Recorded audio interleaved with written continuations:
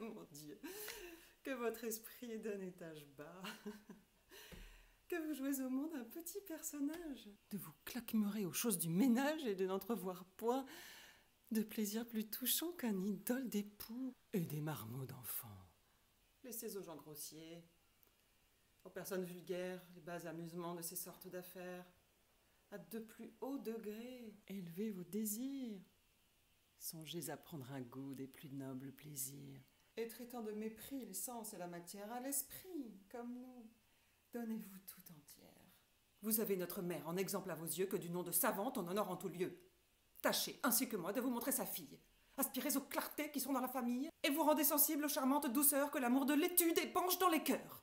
Loin d'être aux lois d'un homme en esclave asservi, mariez-vous, à la philosophie qui nous monte au-dessus de tout le genre humain et donne à la raison l'empire souverain, soumettant à ses lois la partie animale dont l'appétit grossier aux bêtes nous ravale. Ce sont là les beaux feux, les doux attachements qui doivent de la vie occuper les moments et les soins où je vois tant de femmes sensibles me paraissent aux yeux des pauvretés horribles.